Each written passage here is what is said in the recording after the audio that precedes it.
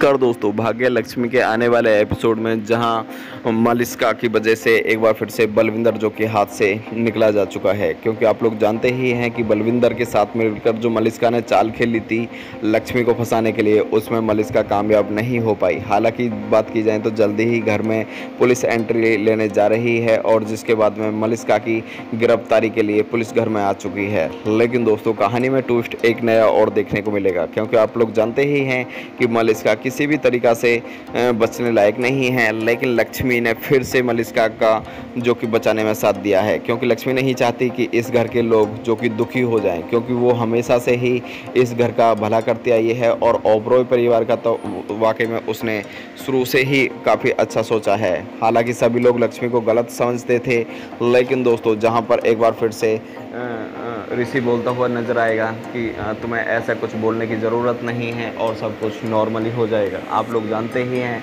कि किस तरीक़ा से लगातार जो कि ऋषि और मलिस्का की इंगेजमेंट में दरार पर दरार आ रही थी। लेकिन दोस्तों, जल्दी ही एक बार फिर से लक्ष्मी पूरी बात जो कि पुलिस वाले से बोल देती है कि इसमें मलिस्का की कोई भी गलती नहीं है। बलविंदर की वजह से, यानी बल्लू की वजह से ये सब कुछ हुआ है और मलिस्का को वो गिरफ़्तार, यानी अरेस्ट नहीं करें। साथ ही दोस्तों, लक्ष्मी की बहन सालू चाहती थी कि जो वाकई में जिन जिन लोगों ने गंदी चाल खेली थी, गंदी षडयंत्र रचे हैं, उनकी गिरफ्तारी होनी ज़रूरी थी। लेकिन दोस्तों किसी भी तरीक़ा से ऐसा नहीं हुआ। लेकिन दोस्तों, इधर मलिस्का एक बार फिर से लक्ष्मी को वार्निंग देती हुई नज़र आएगी कि या तो तू अपने राज्य से लक्ष्मी दूर हो जाइए। अगर तुम अपने राज्य से दूर नहीं हुई तो मुझे दूर करने के लिए और भी रास्ते आते हैं।